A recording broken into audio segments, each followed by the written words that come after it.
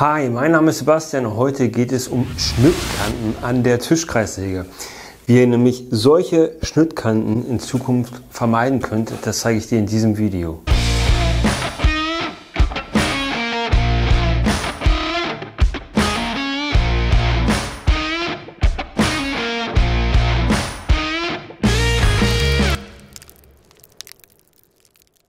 Ich möchte ehrlich sein, ich habe vorweg natürlich das Kreissägeblatt gewechselt. Da war nämlich dieses hier drauf.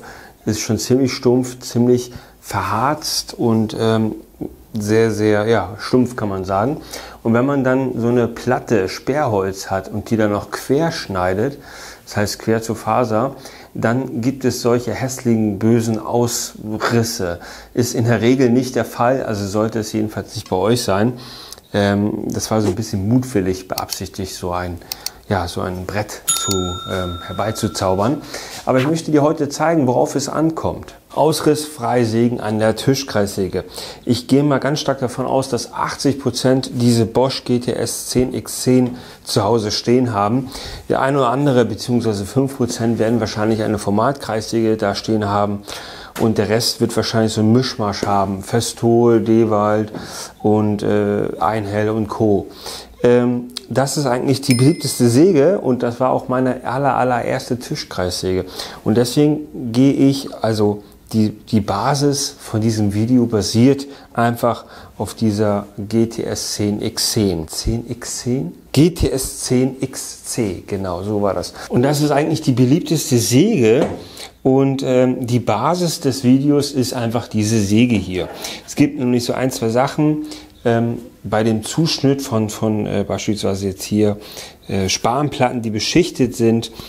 Ähm, die können wir leider hier nicht einstellen. Das kannst du beispielsweise einer Formatkreissäge machen oder hochwertige Tischkreissägen. Aber ich möchte dir ein paar Tipps verraten, wie du mit der GTS 10 XC auch vernünftige Schnitte machen kannst. Also das Ganze dreht sich jetzt um Spanplatte, wie ich schon gerade erwähnt habe. Gibt es ja viele in ganz, ganz vielen verschiedenen Farben ähm, heutzutage äh, Dekore ausgestattet.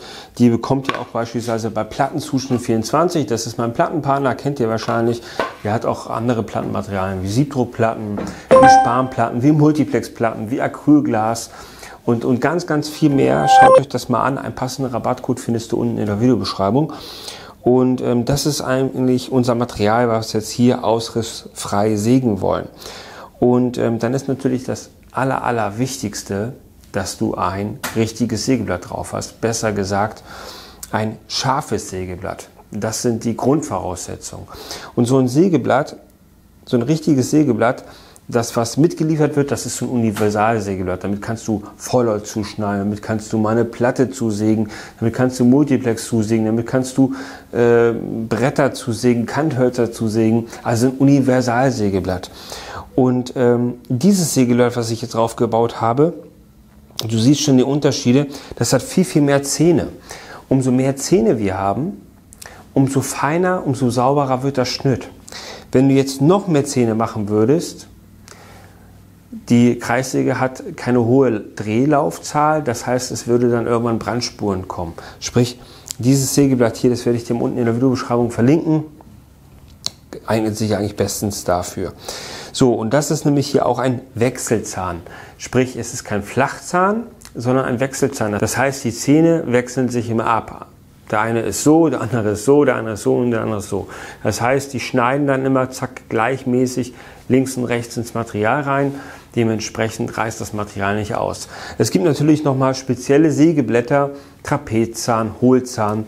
Ähm, die eignen sich vielleicht gar nicht für diese Maschine hier sich zuzuholen, weil du mit der Maschine beispielsweise gar keine hohen Drehzahl erreichen kannst und du würdest vielleicht gar keinen Unterschied sehen. Also fassen wir mal ganz grob zusammen. Ausgangspunkt ist natürlich eine saubere Maschine, das ist eigentlich Grundvoraussetzung. Des Weiteren sollte die Absauganlage funktionieren der Maschine, sprich Spanhaber raufgesetzt. Das habe ich in den meisten Fällen in meinen Videos nicht, keine gute Vorbildfunktion.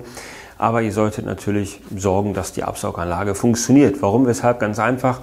Die Späne kann durch anderem mal im Sägeblatt, zwischen Sägeblatt und Material gelangen und dann kann das auch zu Ausrissen führen. Dann braucht ihr ein scharfes Sägeblatt. Egal was für ein Sägeblatt du hast, es sollte auf jeden Fall scharf sein. Es sollte nicht verharzt sein, es sollte scharf sein. Ganz, ganz einfach. Die Einstellung ist eigentlich das A und O jetzt bei dieser Tischkreissäge hier. Und jetzt fragst du dich, hä, was meint er denn mit Einstellung? Ich meine natürlich die Höhe des Sägeblattes. Das Sägeblatt, also die Zähne sollten gerade mal über dem Werkstück stehen. Einen kleinen Ticken drüber, vielleicht noch zwei, drei Millimeter oder fünf und dann ist das Ganze perfekt. Warum, weshalb? Die Zähne sind draufgelötet und wenn du die bündig oder vielleicht zwei, drei Millimeter über dem Werkstück lässt, dann sorgen die Zähne dafür, also dieses, das Hartmetallstück, was draufgelötet ist, dass die nochmal ein, ein, ja, die kommen ja aus, aus das Material rausgeschossen und äh, es kann dadurch sein, dass die die Oberfläche, also diese, diese ähm, Harzbeschichtung hier, dass die dann das Ganze ja, zu Ausrissen sorgen. Das heißt, die sollen mindestens drüber stehen plus 5 mm. Und das war es eigentlich schon. Dann kommt noch hinzu die Vorschubgeschwindigkeit. Wenn du jetzt dein Werkstück so wumm durchziehst, dann bringt dir das beste und scharfste oder schärfste Sägeblatt nichts. Du hast garantiert dann Ausrisse. Warum, weshalb? Ganz einfach, die Drehgeschwindigkeit von deinem Sägeblatt und die Vorschubgeschwindigkeit ist dann zu schnell, das Sägeblatt dreht dann quasi noch langsamer und äh, dementsprechend hast du Ausrisse. Das heißt, schieb dein Material ruhig, schön, sachte, natürlich auch nicht zu langsam, da musst du ein bisschen Gefühl haben, schön sachte durch, die, durch das Sägeblatt durch, durch den anderen Anschlag vorbei und dann müsstest du eigentlich tolle und ähm, ja, vorzeigbare Ergebnisse erzielen, wie ich jetzt in diesem Fall hier. Dann gibt es natürlich noch einen anderen Trick, das Ganze abkleben. Ähm, Habe ich schon damals gelernt von meinem Vater und Co. Und ähm, ihr habt wahrscheinlich schon oft festgestellt, dass das Abkleben gar nicht so viel bringt.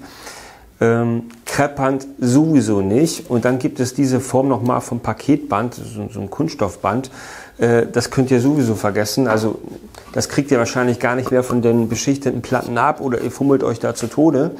Es gibt ein sogenanntes Schutzband. Das ist ein bisschen dicker und ähm, das könnt ihr verwenden und das minimiert so ein bisschen die Ausrisse, aber auch nicht zu 100 Prozent. Das mal dazu. Und dann, wer jetzt ganz, ganz viele Plattenmaterialien zusägt und, und in nächster Zeit vorhat, er will eine Tischlerei aufmachen und so weiter und so fort, den kann ich ganz einfach empfehlen, als nächsten Schritt sich vielleicht eine Tauchkreissäge zuzulegen. Mit der Tauchkreissäge ähm, kannst du noch mal schönere Schnitte erzielen oder du überlegst dir mal den Kauf für eine Formatkreissäge. Das ist natürlich extrem kostspielig. Du brauchst Platz, du brauchst eine Absauganlage und äh, du brauchst natürlich das nötige Kleingeld. So eine Formatkreissäge ist sehr, sehr teuer. Ist natürlich auch mein Traum, aber äh, passt hier gar nicht rein und kann ich mir auch gar nicht leisten. So, ich hoffe, dir hat dieses Video gefallen. Und ähm, ja, alle Infos findest du unten in der Videobeschreibung. Es gibt was ganz, ganz Neues jetzt. Ich habe ein, ja, wie soll ich sagen, kein Shop auf Amazon. Amazon hat die Möglichkeit äh, mir eingerichtet, dass ich meine Produkte dort aufstaffeln kann. Sprich, alles, was du hier findest in der Werkstatt, ob Zwingen, ob 230 Volt Maschinen, ob ähm, wenn es flutschen soll, ist eine Kategorie bei mir, die ich angelegt habe, oder, oder, oder, oder Autopflegeprodukte oder zum Thema Reifenwechsel. Ich habe da ganz, ganz viele Sachen aufgelistet. Alles, was ich in der Werkstatt habe oder was ich weiterempfehlen kann, ähm, das wirst du dort finden. Den Link packe ich dir mal unten in der Videobeschreibung. Schau mal rein, würde ich mich mega darüber freuen. Und für alle die, die jetzt sagen, ey, du bist geldgeil oder keine Ahnung was, ähm, das ist eine ganz, ganz simple Geschichte, Amazon. Ähm, natürlich, Partnerprogramm kennt wahrscheinlich jeder von euch. Das heißt, wenn ihr auf diesen Link klickt und euch die Sachen anguckt und vielleicht irgendwas kauft, dann kriegt ihr eine kleine Provision von ein paar Cent. Das hat den Hintergrund, es, also es wird für euch nicht teurer, ne? das müssen wir ganz klar mal unterstreichen. Aber ähm, wenn ihr es jetzt kauft, ob ihr es darauf klickt bei mir und ich kriege eine kleine Provision oder auch nicht, ähm, ihr tut den Kanal damit was Gutes. Das heißt, es ist eine Win-Win-Situation. Ihr kauft es, euch tut es nicht weh oder ihr nimmt meine Beratung oder äh, gibt mir was wieder und ich erfreue mich beziehungsweise ihr unterstützt den Kanal. Mal so am Rande, eigentlich, ihr kennt mich ja, eigentlich mache ich dafür nicht so wirklich Werbung. Ich sage zwar, in jedem Video ist unten verlinkt für die Neulinge, die hier gerade eingeschaltet haben und das nicht wissen, weil viele fragen mich immer, hey, was hast du da verwendet, wo finde ich das?